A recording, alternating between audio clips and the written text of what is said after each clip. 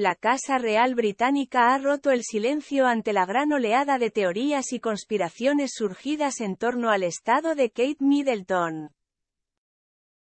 La salud de Kate Middleton nos mantiene a todos en vilo desde hace semanas. Y lo cierto es que desde la Casa Real Británica no han sido muy claros al respecto.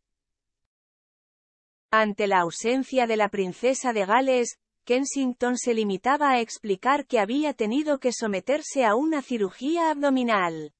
Lo que, a su vez, la obligaría a permanecer en el hospital entre 10 y 14 días. Además, advertían que según los consejos médicos actuales, es poco probable que regrese a sus funciones públicas antes de Semana Santa. Un bombazo al que se sumaba también el diagnóstico de Carlos III con un cáncer. Y la situación no hacía más que complicarse después de que saliera a la luz que la recuperación de Kate Middleton no estaba siendo todo lo favorable que debiera. Tanto es así, que muchos apuntaban a que la princesa de Gales había sido inducida a un coma. Los médicos tuvieron que tomar decisiones drásticas en esos momentos debido a esas complicaciones que surgieron, informaban diversos colaboradores. La decisión fue inducirla a un coma.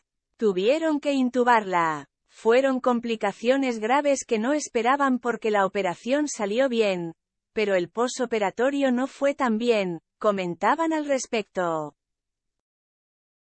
Además, la actitud del príncipe Guillermo tampoco ha ayudado nada a calmar los ánimos. Su gesto de preocupación, en medio del gran bache que atraviesa la familia, se ha hecho más que notable en sus escasas apariciones públicas.